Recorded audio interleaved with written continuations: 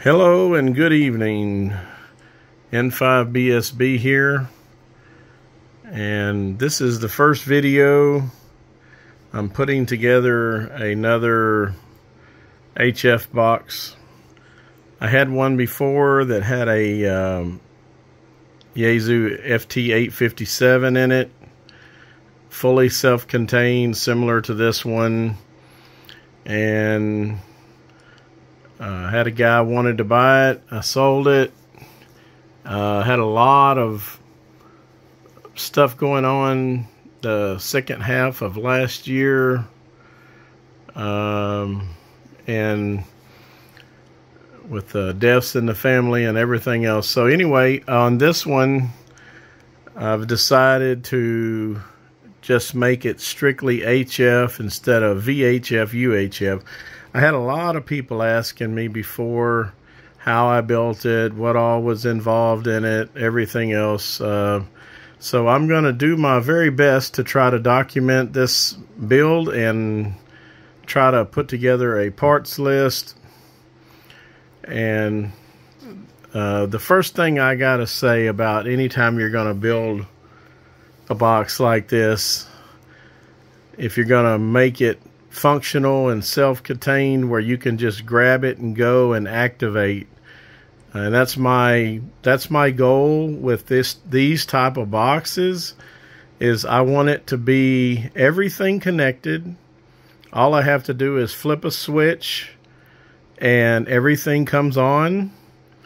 Uh, I have uh, all my digital mode stuff. I have everything to do FT8 or whatever I want to do Everything is here, and probably even, you know, one of my real potable and antennas will fit down in here. So all you have to do is go out, uh, set your antenna up, uh, use a 50 foot piece of coax, put your antenna up, turn it on, and operate. That's my goal. I don't want to have to, you know, take stuff out of the box, set it up, hook cables, connectors, and all that kind of stuff. I don't want to do that. so, as I found out from the last box, sometimes you get in too big a hurry and you make little mistakes, which it was not a big deal, but you learn. And one of them, well, first let me talk about what all I'm going to put in here. Okay, so we got the Yaesu 857. This one's brand new. Still got the plastic on the screen. The head uh, will be mounted uh, up here in this general area. I'm waiting on a bracket uh, for that. And this will be the power distribution box, which will be probably mounted somewhere in here. It's six uh, circuit with fuses in it. This is a a USB hub.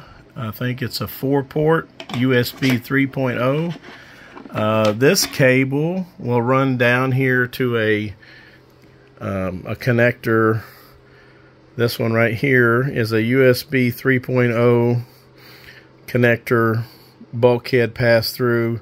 I'm not 100% sure exactly where this is going to go. I'm hoping it'll go somewhere right in this area right here because the, the, the tuner is going to sit right on top of the radio in this area.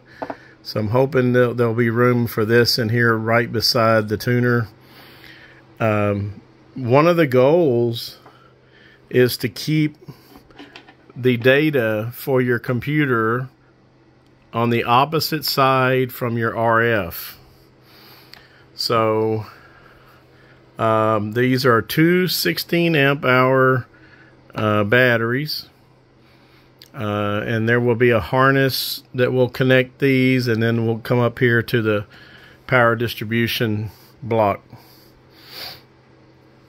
Um, the there this is the bulkhead fitting which will be back here kind of in this area and then there is a 90 degree adapter that will go in here and then I've got a one foot piece of coax that will make that connection and it comes out just perfect Uh, I have a DigiRig uh, sound interface. It will be mounted up here uh, somewhere probably just below the display or somewhere and I'm not 100% sure on that yet. Um, I have here this is a combination function uh, this has a 65 watt USB-C a QC 3.0 USB-A and it has the voltage here in the middle a little LCD the reason why I like this one is it has an on off button so you can turn it off instead of having to worry about it being on all the time. Uh okay what else? I have a uh, I believe this is a 30 or a 35 amp uh, on and off uh, switch. Um, if I need it, I have a 90 degree, depending on where uh, this, uh, sorry, depending on where this connector goes, I have a 90 degree that can run up to this uh, port here. Instead of using the um, the very long cable that came with the radio, I just went ahead and purchased another one uh, that I can cut and wire to to fit.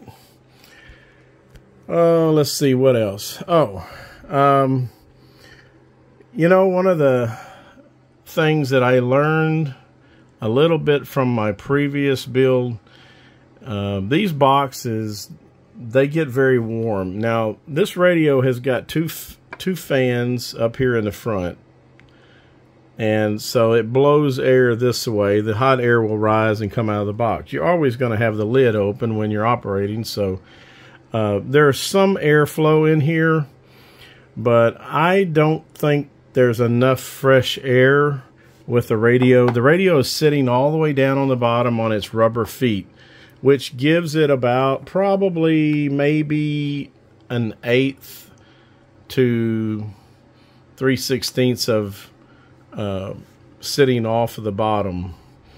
Um, but I have an idea. I still haven't decided which way I'm going to go with it. But I have some of these um, louvered vents. Uh, they are just a hair bit um, wide. I may have to trim them down a little bit. But anyway, um, I thought about putting two of these. Sorry, my light's no good over here. Um, let me see if I can. And I've got two different styles. I haven't decided, but uh, one of them would be to do it, do two of them side by side.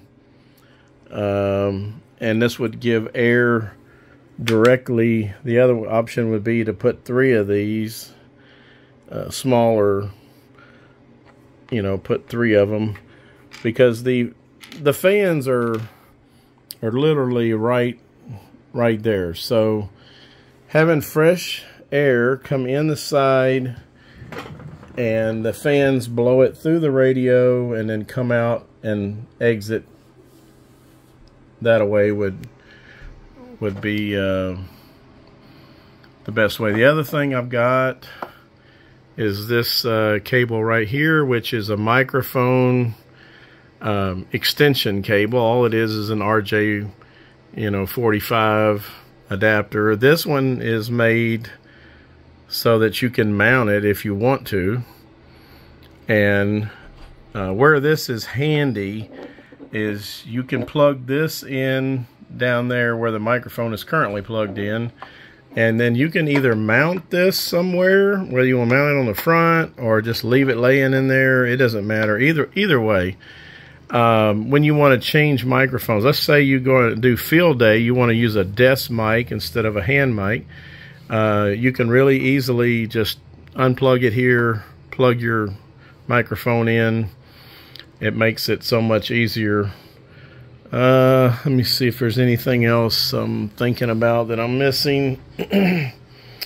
obviously I have a cable for the cat, you know, a USB A to USB, uh, a good quality um, cable. I have some stuff for, uh, you know, for ground. This is a, a ground wire.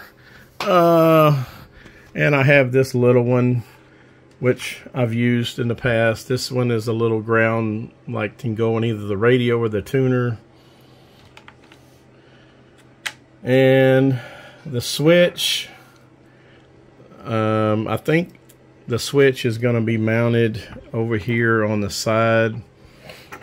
Uh, this battery, um, this one here will be mounted up in the front right here. It's going to be mounted like right down in, in this area right here.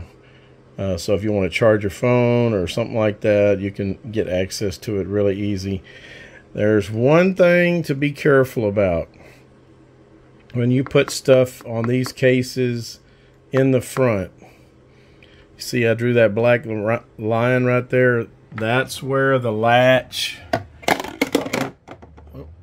that's where this latch, you know, hits. So if you get it, if, if you get anything up too high here, your latch is not going to close. So make sure you put it down far enough to where your latch will still close.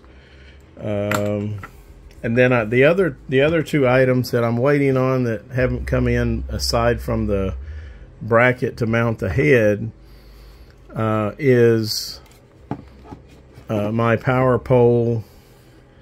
I've got a single and a dual power pole. And they're going to be mounted on this side over here. There will be a, a, dual port and then a single port. And the single port will be strictly for charging the batteries.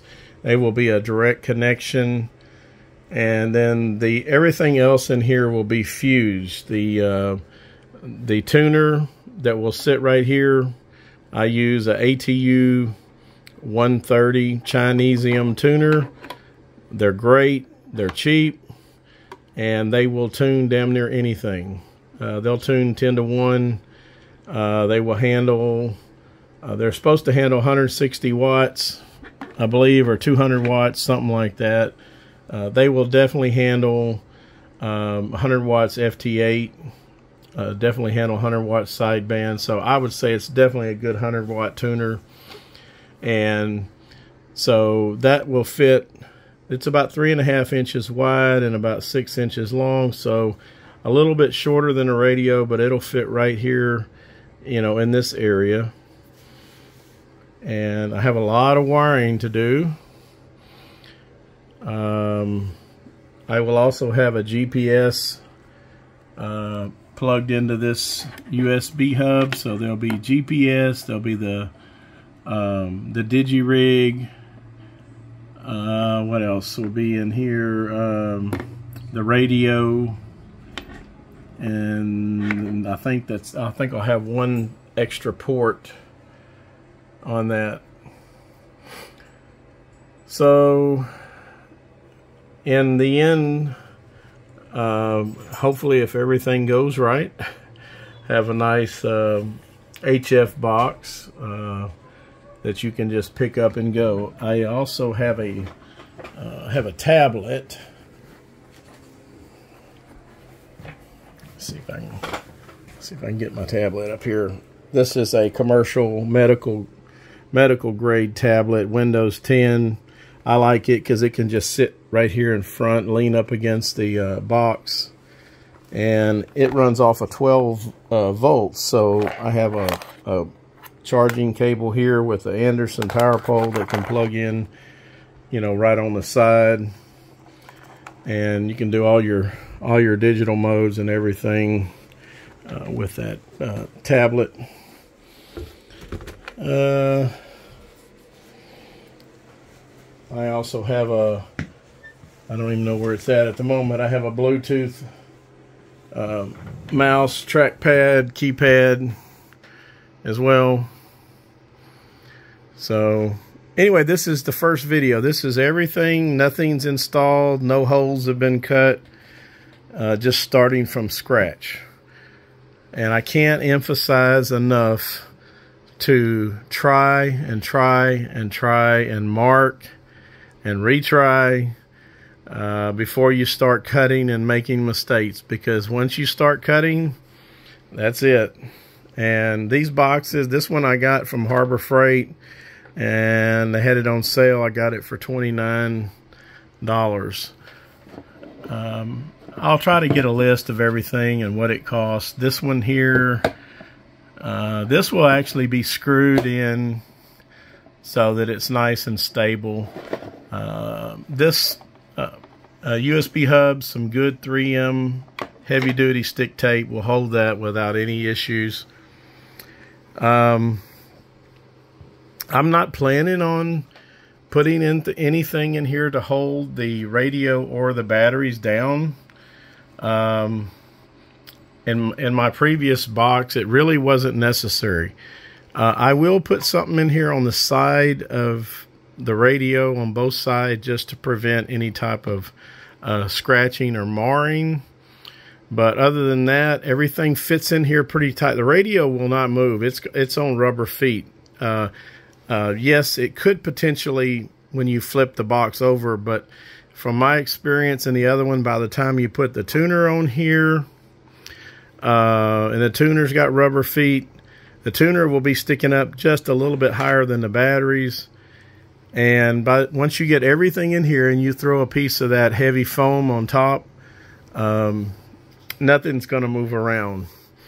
Um, one other thing to keep in mind when you mount your the head for your radio sorry when you mount your head for your radio you want to make sure that you get it in the right place.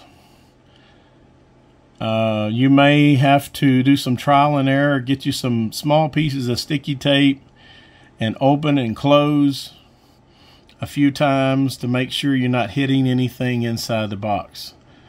Um, theoretically, you want it to be, when it closes, you want it to be somewhere, you know, in this area right here. You know, give you a little bit of room, not hit any of your switches or anything like that. You know, the voltmeter down there, you know, so somewhere and I'll actually it sits up in it so somewhere like right in there is about where you want it to sit and like I said it's a trial and everything you just have to measure and try it and well that's about all I have for today's video I'm, as soon as I get my other parts in, I'm going to start. I'll try to do some some shorter clips as we go along. I'm not going to actually uh, film cutting the holes. I, I generally use just a drill and a step bit. Nothing spectacular. And but I will try as I go along give give you a look. Uh, take care, 73, N5BSB.